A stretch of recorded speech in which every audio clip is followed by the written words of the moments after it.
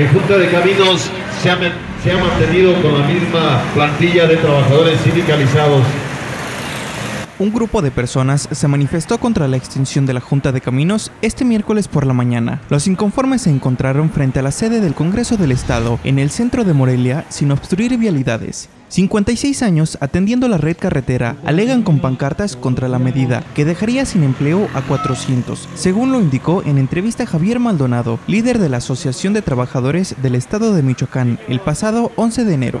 Con imágenes de Leopoldo Hernández e información de Melissa Pérez Ignini, Agencia Cuadratín. Grupo de Oro presentó